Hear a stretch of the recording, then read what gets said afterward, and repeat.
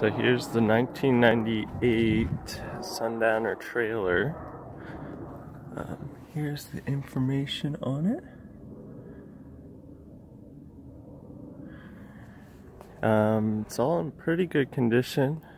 Has a escape door for the horse stall.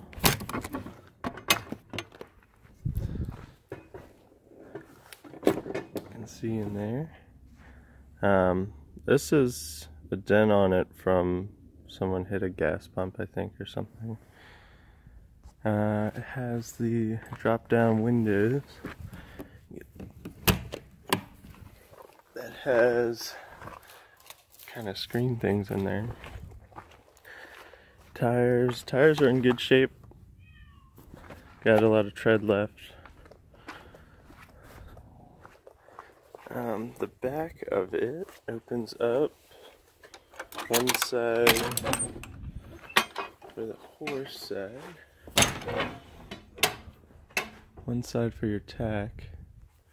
Um,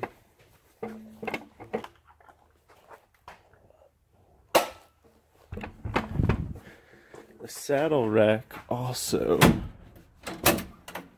opens up and swings out.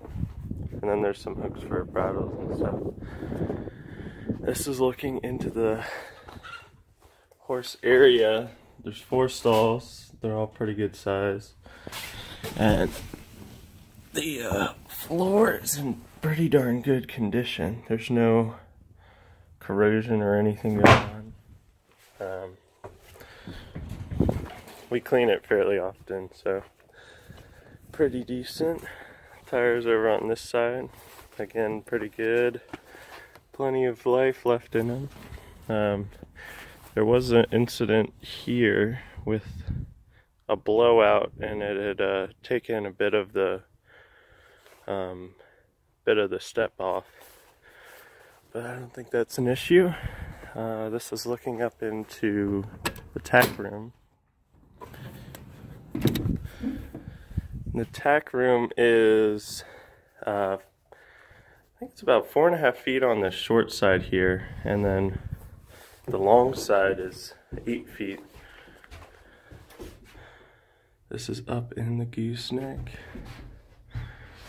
And all the way around, you can kind of see this side would be eight feet, and then, you know, there's hooks and stuff around for all your stuff. This thing can stay or go, it's up to you.